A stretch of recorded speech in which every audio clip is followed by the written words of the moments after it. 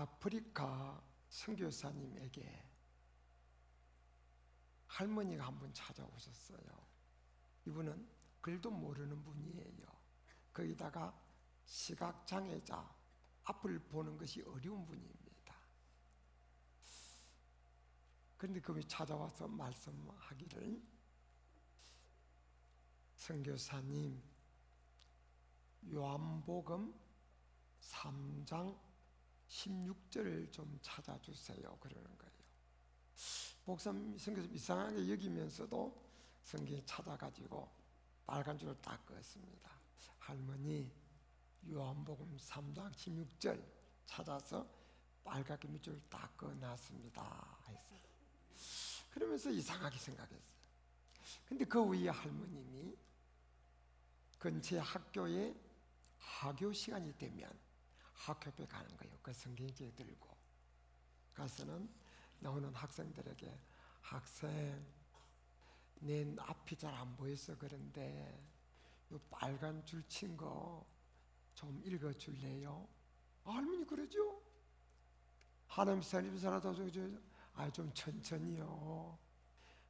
하나님이 세상을 이처럼 사랑하사 독생자를 주었으니 이는 저를 믿는 자마다 멸망하지 않고 영생을 얻게 하려 하십니다.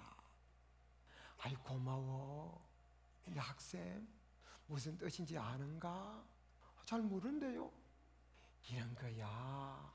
하나님이 학생 사랑한다는 거지. 그러면서 복음을 전하는 거야. 참 놀라운 일이죠. 놀라운 일이죠. 네. 네. 다음 주는 추수 감사주일이고 그 다음 주일은 예, 전도 겔실 축제주일이에요. 아마 많은 성도님들이 전도에 관한 거룩한 부담감을 갖고 계실 겁니다. 그런 분들에게 격려하고 힘을 실어주고 싶어서 오늘 예, 가장 큰 선물이란 제목으로 말씀을 전하려고 합니다. 한번 따라합시다. 가장 큰 선물, 가장 큰 선물. 선물 누구나 다 좋아하죠. 주는 것도 좋지만 받는 것도 좋지요. 예. 그런데 그 중에서도 가장 큰 선물이 뭘까? 사람마다 느낌이 다를 거예요. 저 경우 제가 받은 가장 큰 선물은 뭘까 하고 생각해 보는 겁니다. 저는 선물을 많이 받아본 사람입니다. 넥타이도, 양복도, 구두도, 시계도, 이 시계도 선물 받은 거예요.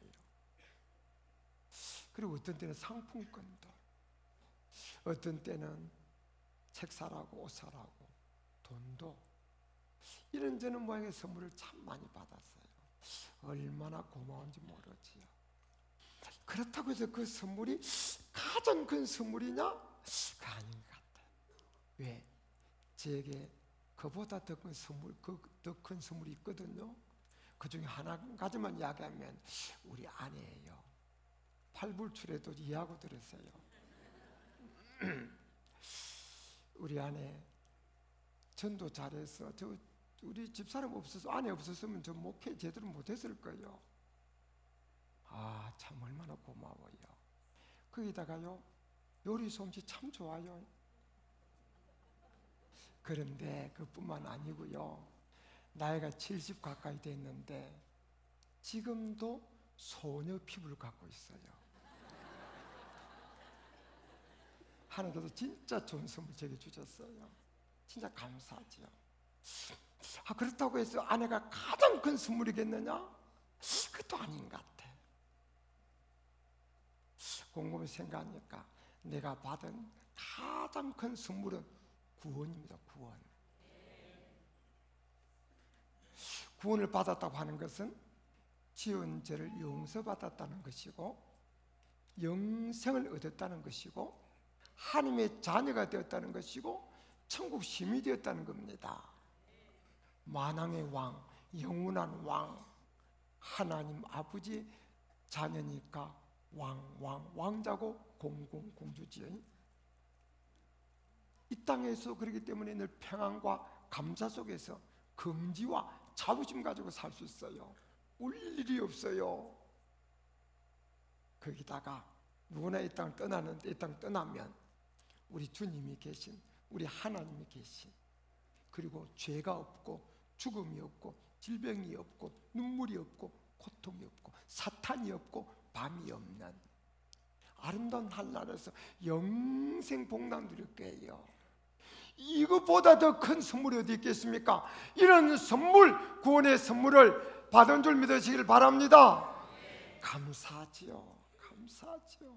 이런 선물을 받을 자격 있는 제게 주신 하나님의 은혜를 찬양하고 감사합니다. 여러분 구원의 선물 받으셨죠? 예, 이 선물 주신 하나님을 한번 할렐루야로 찬양 한번 합시다. 할렐루야! 이 서, 이것이 정말 귀한 선물을 깨달아 알지 못한 사람은 이 뜻을 모릅니다. 그러나 이 깨달아 아는 사람은 이걸 덮을 선물이 없는 거예요. 네. 자, 그래서 내가 받은 가장 큰 선물은 구원이에요. 그런데 그럼 내가 남에게 줄 수 있는 가장 큰 선물은 무엇일까? 자, 우리가요. 남에게 선물 줄 때도 그가 기뻐하고 소원하고 원하는 걸 주면 더 기뻐하죠. 그가 기뻐할수록 더 큰 선물이 되는 겁니다. 근데 사람마다 형편 처지가 다르니까 기뻐하는 선물이 다를 거예요. 우리 집사람에게 얼마 전에 어떤 분이 미국에서 300몇 불에 산 가방을 선물했어요. 집사람이 너무 기뻐하는 거예요. 저도 마음 먹으면 우리 집사람도 마음 먹으면 그 하나 살 수 있지요. 그러나 간이 작았어. 그리고 이것저것 생각하는 것이 많아서 그걸 한 번도 못 사주고 못 샀어요. 그런데 그걸 받고 집사람이 너무 좋아하는 거예요. 아, 이게 좋아할수록 큰 선물이다. 그런데 그렇다고 해서 그런 것이 그 사람에게 줄 수 있는 가장 큰 선물일까? 아니에요. 내가 받고 보니까 구원이 가장 큰 선물이다 그거죠. 그러면 상대방도 남도 구원의 선물 줄 수 있으면 가장 큰 선물 아니겠어요? 그에게도 구원이 가장 큰 선물이다. 그런데 그 구원은 내가 줄 수 있는 게 아니에요. 구원은 하나님만이 줄 수 있는 선물입니다. 내가 줄 수 있는 게 아니에요. 그럼 하나님은 구원을 누구에게 주시느냐?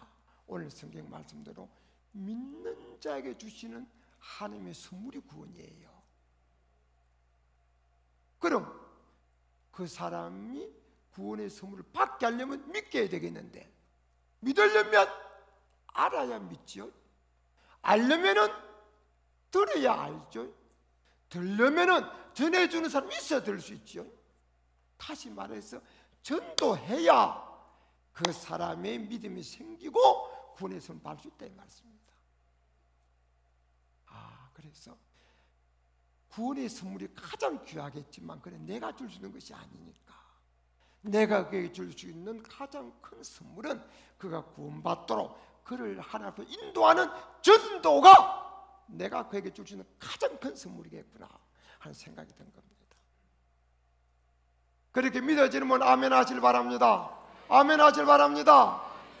여러분도 예, 아직도 군의 선물을 받지 못한 수많은 사람에게 가장 큰 선물을 안겨드리고 애쓰시길 바랍니다. 저도요 대학 다니다가 교회 나왔지만 그 전에 중학교 2학년 때 친구 따라 교회를 석 달 다닌 적이 있습니다. 부모님이 하도 핍박해서 못 나가고 다 잊어버렸지만 그래도 나중에 대학 다닐 때 육체적으로 병들고 정적으로 갈등하면서 다시 교회를 생각하고 하나님을 생각하게 된 것은 중학교 2학년 때 친구 따라 교회를 처음 나왔기 때문이라고 합니다.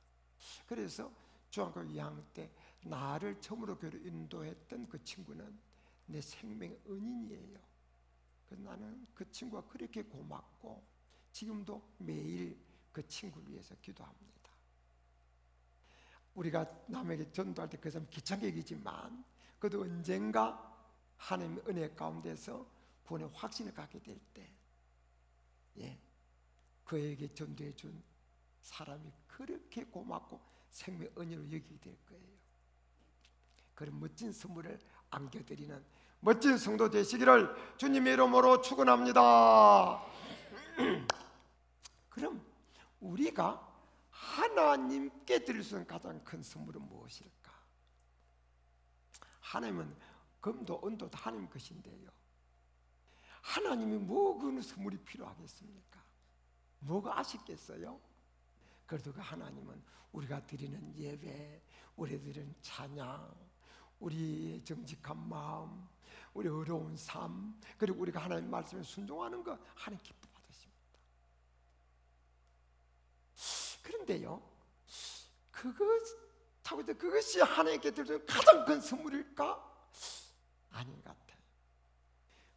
그분이 가장 크게 기뻐하는 것일수록 우리 하나님께 가장 큰 선물이 될 수 있습니다. 그럼 하나님께서 가장 크게 기뻐하는 건 무엇인가?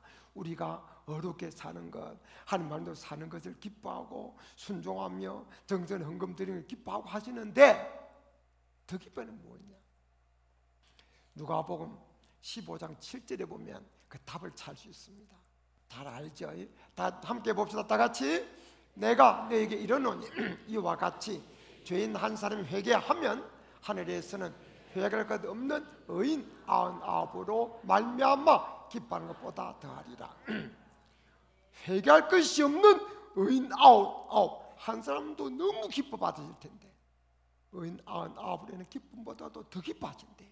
죄인 한 사람 회개하고 돌아오면 오늘 본문 에스겔 33장 11절에도 같은 말씀이 있습니다. 함께 볼까요?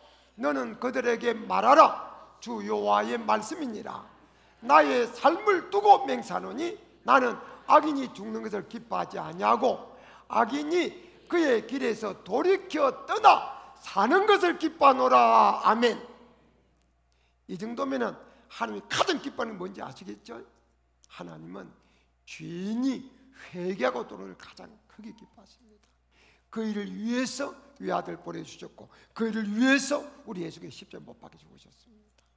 그러므로 죄인이 회개하고 돌아오면 그 하나님의 사랑, 예수님의 희생적인 사랑이 예, 빛을 발하는 거예요. 하나님이 호태하시는 겁니다. 그런데 죄인이 회개하고 돌아오려면 그냥 돌아오는 게 아니고 우리가 전도할 때 하나의 말씀을 듣고 하나님께로 나오는 거예요. 우리가 그들을 하나님께로 인도해야 되는 겁니다. 이게 전도예요. 그래서 하나님은 전도를 거듭거듭 명령하셨고 그리고 하나님께서는 전도를 가장 강하게 명령하셔서 마태복음 28장 19절 입절에 다 같이요. 그러면 너는 가서 모든 민족을 제자로 삼아 아버지와 아들과 성령 이름으로 세를 베풀고 내가 너에게 분부한 모든 가르쳐 지키게 하라. 볼지어다. 내가 세상 끝날까지 너희와 항상 함께 있으리라 하시니라. 이 전도 명령을 우리는 흔히 지상 명령 하나님이 어떤 명령이라 한다고 그만큼 하나님은 죄인이 회개도를 기뻐합니다 그렇다면 이 기쁨을 하나님께 안겨드리는 것이 최고의 선물 드리는데 그것은 발 우리 전도로 하나 앞으로 회개가 돌아올 수 거죠 그러므로 우리가 하는 전도는 하나님께 최고의 기쁨, 최고의 선물 안겨드린 겁니다. 자, 내가 구원의 선물 받은 것도 내가 어렵고 착해서 죄에 앉아서 받은 게 아니잖아요. 남이 나에게 전도해 주어서 믿음으로 회개하고 이 구원의 선물 받은 거예요. 그러므로 내가 받은 구원도 전도를 말미암아 이 선물 받게 되고 남에게 줄 수 있는 가장 큰 선물도 전도요 하나님께 드릴 수 있는 가장 큰 선물도 전도다. 믿어지면 아멘 하길 바랍니다. 아멘 하길 바랍니다. 이 사실을 깨달아 알고만 있으면 안 되고 깨달아 알았으면 이 선물인 전도를 힘써 행해야 될 줄 믿으시길 바랍니다 더더구나 우리가요 전도 갤실 축제일을 바로 앞두고 있는데 가만히 있으면 안 되겠잖아요. 그럼 어떻게 전도를 해야 될까요? 다 아는 이야기죠. 그러나 그럴수록 더 잘 알고 더 정말 바르게 행하도록 해야 됩니다. 몇 가지만 말씀드립니다. 어떻게 전도해야 되느냐? 예. 전도할 때는 예, 기쁨과 사명감으로 전도해야 됩니다. 아이고 내 팔자 이거 안 할 수도 없고 아이고 힘들어 아이 귀찮 이러면은 전도 안 돼요. 예, 싱글벙글 싱글벙글 싱글벙글 왜? 나에게 구원의 선물 주신 하나님 몰라서 그렇지 내가 당신에게 가장 큰 선물을 주려고 하는 거다. 지금 하나님 내가 가장 큰 선물을 들려고 내 전도하는 거다. 이거 생각만 해도 기쁜 겁니다. 생각만 해도 기쁜 거예요. 그리고요 전도하게 되면요 하나님의 상급이 멸류가 약속되어 있습니다. 이거 생각만 해도 그리고요 내가 할 수 있는 일 중에 가장 수준 많은 일이 한 영혼 전도하는 거. 한 영혼이 가장 천하보다 귀하거든요. 그러니까 금지와 기쁨으로 정말 전도를 해야 되는 거예요.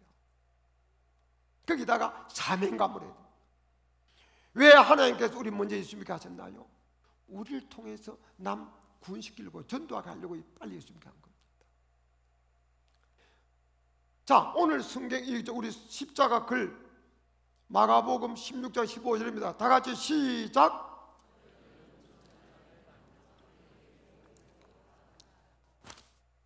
예.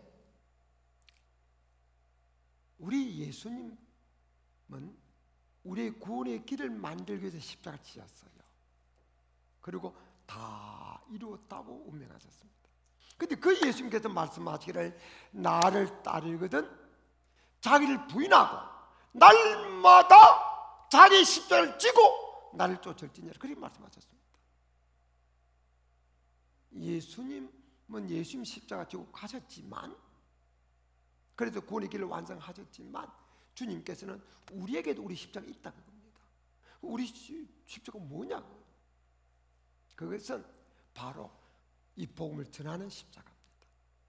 주님은 구원의 길을 만들기 위해서 십자가 지셨고 우리는 이 구원의 길을 알리기 위해 십자가를 져야 될 줄 믿으시기를 바랍니다. 이 우리 사명입니다. 사명이에요. 사명은 해도 되고 안 해도 되는 게 아닙니다. 기분 좋으면 하고 기분 나쁘면 안 하고 그 사명 아닙니다. 행패 좋으면 하고 안 하면 안 좋으면 안 해도 되는 건 사명이 아니에요. 사명은 환경 여건 관계없이 하지 않으면 안 되는 일이 사명입니다. 그러므로 사명감을 가지고 전도하여 정말 멋진 선물 하나님께 안겨드리고 남에게도 안겨드리시기를 주님의 이름으로 축원합니다. 전도는 어떻게 되느냐 하면요, 전도는 예, 사랑과 희생으로 해야 되는 겁니다. 어떤 교회 한 부인이 있는데 교회 일도 열심히 해요. 그리고 전도도 하고 싶어요. 성경도 잘 암송합니다. 그리고 전도도 나름대로 해요. 그런데 열매가 없는 거예요. 그래서 이분이 스위팅 박사님을 찾아갔어요. 박사님, 나는 주님도 사랑하고요. 전도도 하고 싶고요. 전도 훈련도 받았고요. 성경 암송도 많이 합니다. 그래서 전도를 하는데 전도 열매가 없어요. 왜 열매가 없을까요? 그렇게 질문하는 거예요. 이 스위팅 박사가 그 이야기를 쭉 듣더니 이는 말하는 겁니다. 다른 거는 다 갖춘 것 같은 사랑의 눈물로 씨를 뿌리지 못하는 그 문제군요. 그러면서 시편 126편에 보면 눈물로 씨를 뿌린 자는 기쁨으로 달 거둔다고 했습니다. 눈물로 전도해야 열매가 있습니다. 그런 거예요. 그말 듣고 와서 곰곰이 생각해 보니까 나름대로 전도를 했지만 그런 뜨거운 사랑의 눈물 그런 것이 자기에 없다는 것을 깨닫게 된 겁니다. 그리고 그 눈물 달러 하나님 기도합니다. 그리고 그 얼마 후에 그는 전도지 인을 맺기 시작했다는 겁니다. 전도는요 사랑으로 하는 거고 사랑의 눈물로 씨앗을 뿌립니다. 전도 쉽지 않습니다. 그리고요 이 전도는 사랑 희생이 필요해요. 한국 교회가 보면은 대부분 다 3대 7 남자 성도는 3이라면 여자 성도는 7이에요. 우리 교회는 그렇지 않지만 우리 교회는 남자 성도가 뭐 한 4나 4.5 여자 성도가 5.5나 6 정도 될 거예요. 그런데 이 여성도들이 다 예수 믿는 남편 만나 가는 게 아니고 예수 안 믿는 남편에게 십 가는 사람이 한 30% 정도 된대요. 그런데 안 믿는 남편 만나 십 갈 때는 틀림없이 내가 기도하고 사랑으로 녹여서 남편 전도하리라 하는 마음으로 결혼했을 거예요. 근데 그게 쉽게 될 경우는 참 쉽게 되는데 이 안 될 경우는 잘 안 됩니다. 이게 세월만 가게 됩니다. 그 때문에 찌그락찌그락 하게 되고요. 그러다가 지치게 되고요. 그래서 에라 남편 전도 포기하고 혼자만 교회 다니는 사람도 있고요. 어떤 경우는요. 그러다가 그냥 자기까지 교회 안 오는 사람도 있어요. 이 보통 문제가 아니죠. 그래서 이 온누리 교회도 그런 이런 사주로 불신 남편이 많아. 그래서 불신 남편을 전도하기 위해서 남편 초청 집회가 있습니다. 그 이름이 아내의 프로포즈입니다. 아내의 프로포즈.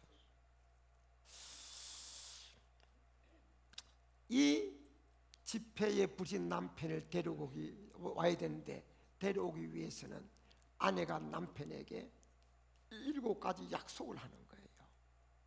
약속을 먼저 하고 약속할 테니 당신 이 귀한 모임에 한번 가시면 안 되겠어요? 그리고 남편 허락 받아서 남편 모시고 오는 거예요. 그 일곱 약속이 뭐냐? 한번 들어봅시다. 나는 남편을 진심으로 섬기겠다. 여성분들, 요즘 여성분들 기분 나쁠 거예요. 여러분 말고, 예. 자신의 자와 고정관념까지도 버리겠다.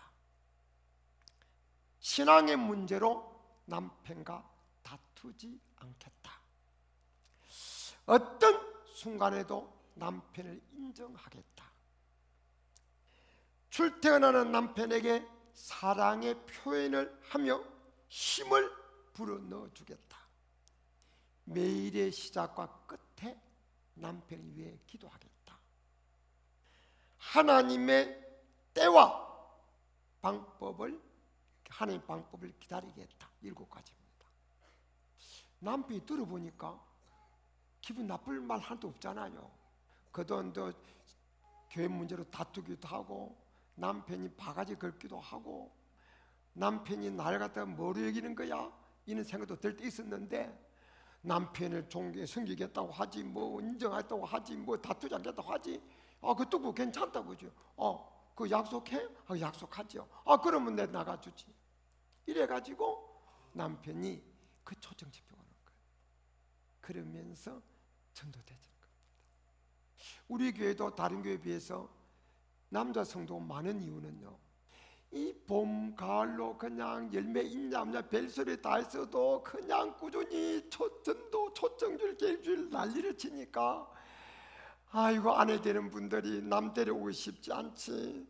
자기 남편은 또 전도해야 되는 거지. 자기 사명이고 기도 제목이지 않니까 남편한테 온갖 아양을 다 떨고 이런저런 서비스 다 해가지고 여보 내 소원입니다. 한 분만요. 이렇게 매달려고 해서 한 분 데려오고 두 분 데려오고 하다 보니까 남편 전도돼 가지고 다른 교회에 비해서 남자 성도 많은 겁니다 희생 없이는 안 돼요 예. 요즘 생 어떤 세상인데 하면서 남편을 갖다가 우스개기면은 전도 어렵다 요즘 새 어떤 세상 간에 나는 남편을 전도하는 사명이다. 내가 남편에게 전도 못하면 어떻게 주님 앞에 얼굴 들고 서겠는가? 그러면서 온갖 희생을 각오하고 전도하면 성공할 수 있다. 그러므로 우리도 사랑과 희생으로 예, 전도해서 전도의 열매 많이 많이 맺으시기를 주님의 이름으로 축원합니다. 우리가요 신앙생활에서 멋진 승리를 하지 못하고 멋진 제자가 되지 못하는 가장 큰 이유가 사랑과 희생이 부족해서 그런 거예요. 네. 이번에도 사랑의 눈물로 그리고 여러분의 희생의 수고로 그리고 여러분을 베푸며 나누는 이는 희생으로 멋지게 승리하시기를 주님의 이름으로 축원합니다. 어떻게 전도될 것인가? 주님께서 함께 하신다. 주님께서 도우신다는 믿음으로 전도해야 됩니다. 전도를요, 내가 한다고 생각하면 어렵습니다. 나는 말할 줄 모르고, 아는 것이 없고, 가진 것이 없고, 시간이 없고, 이래저래서 내가 한다고 하면 하기 어렵다. 그지 전도는 하나님 일이에요. 하나님 일이에요. 나는 그 하나님 일에 동참하는 겁니다. 역사는 하나님 하시는 거예요.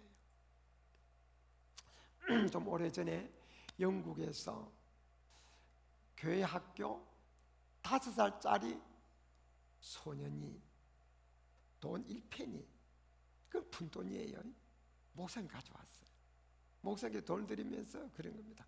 목사님 이 돈 가지고 성경 사서 인도 사람에게 전해 주세요. 그런다. 목사님 하도 기특해서 자기 돈을 보태 가지고 신약생 강건 샀어요. 그래서 인도로 가는 선교사에게 날짜 쓰고 그 소년의 이름을 하도 기특해서 써서 선교사님이 그 뜻을 전하면서 줬어요. 그리고 나서 흐른 세월도 다 잊어버렸습니다. 그런데 한 20이 지난 연후에 이 목사님이 인도 선교 여행을 갔어요. 인도 이곳을 저곳을 가는데 어느 마을에 갔더니 그 마을에 많은 사람 예수를 믿는 거예요.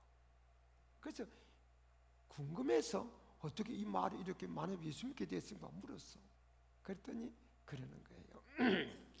한 20년 전에 선교사님이 조그마한 성경 한 권 우리에게 주었습니다. 그 성경이 씨앗이 돼서 오늘 우리 마을에 많은 사람 예수 믿게 되었습니다. 그러는 거예요. 그러면서 그 성경이 하도 귀해서 우리는 보물처럼 보관하고 있습니다.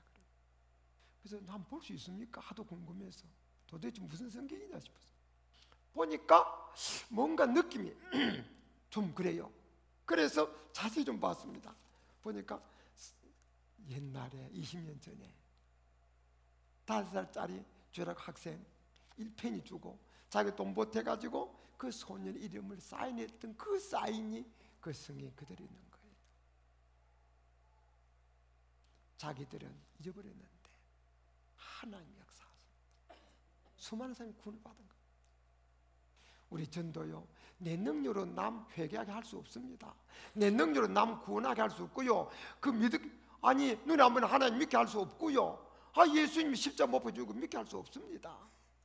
내가 전하고 주님 말에 순종하면 능력은 주님이 능력으로 주님께서 하시는 거예요.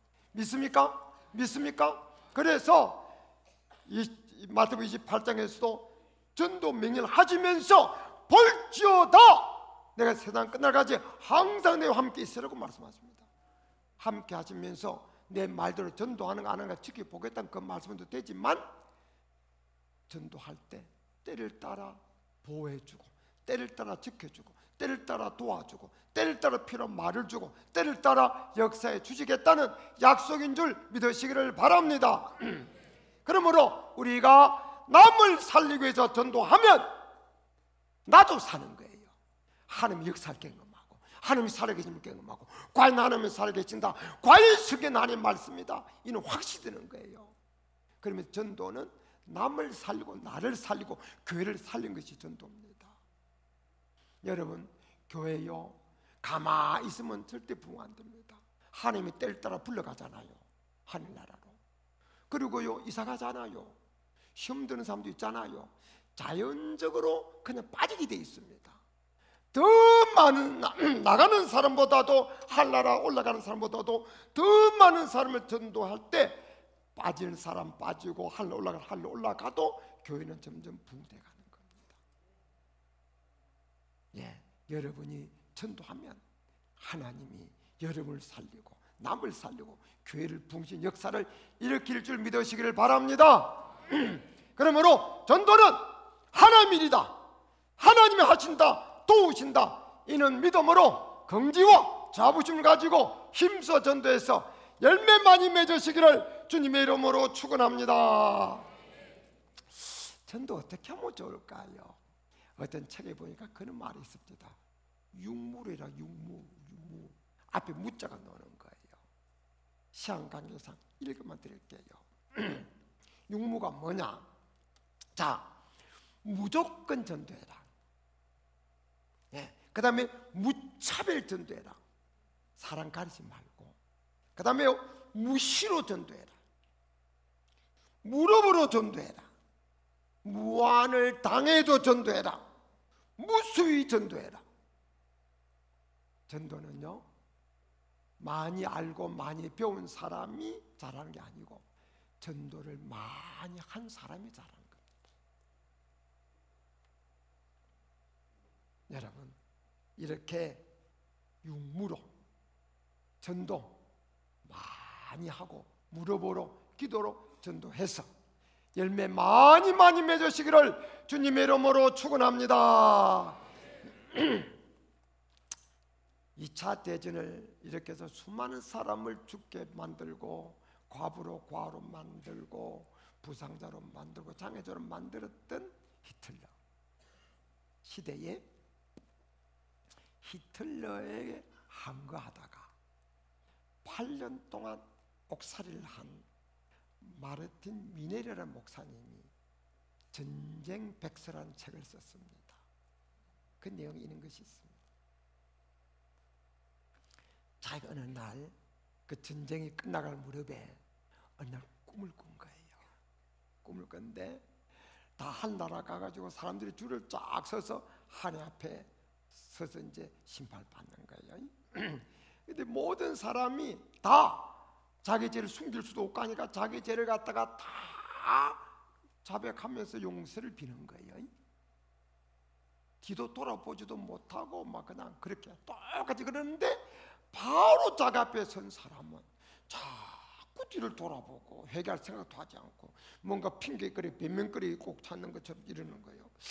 이상하지 사람 왜 이러지? 하고 자세히 보니까 그게 히틀러요. 그 보는 순간 하나님 엄수해지는 겁니다.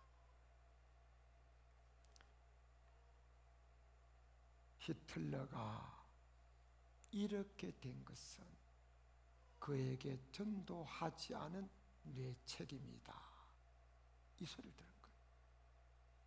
근데 그 꿈을 한 번만 꿨으면은 야 특별한 꿈도 있다고 넘어갔을 텐데 똑같은 꿈을 일곱 번 계속 꾸게 된 거예요. 그 이분이 충격을 받은 그리고 이분이요. 예. 나는 8년 동안 히틀러 독재 한거할 생각만 했지 전도할 생각 한 번도 못했다. 그에게 전도했다면 이런 일이 없지 않겠나. 그래서 이 전쟁은 내 책임이다. 그 전쟁 백성. 전도는요 하면 내게 기쁨 상급 있고 남도 살리고 하나님께 영광 돌리는 최고의 선물들인 거다. 그런데 안 하면 나도 하나님께 혼납니다. 남도 못 살립니다. 하나님 마음 아픕니다. 마귀만 좋아합니다. 이 사실을 깨달은 바울이 전도를 그렇게 강조하고 그러면서 고린도전서 9장에서 말하기를 내가 복음을 전할지라도 자랑할 것이 없으면 내가 부득불할 일이로다 내가 만약 복음을 전하지 않냐면 내게 화가 미치기로 두렵다고 말했습니다. 에스겔 33년도 보면 내가 전하라고 했는데 전하지 않아서 그 죄인이 죽으면 그는 자기 죄 때문에 죽는 거지만 그 죄값을 내 손에 찾겠다고 하나님 말씀하셨습니다. 전도는 하면 나도 살고 남도 살고 하는 게 영광이 되고 안 하면 나도 손해 남도 손해 하나님도 가슴 아프고 마귀만 기뻐하는 겁니다. 그러므로 이렇게 특별히 교회가 전도하기 위해서 날짜를 정해놓고 이 전도할 때 너도 나도 할 것 없이 다 전도 대회에 오늘 들은 말대로 동참해서 이번 전도 갤실 축제에 열매가 풍성하여 나도 기쁘고 남도 살리고 하나님께도 영광을 돌리는 멋진 전도 갤실 축제일이 되시기를 주님의 이름으로 축원합니다.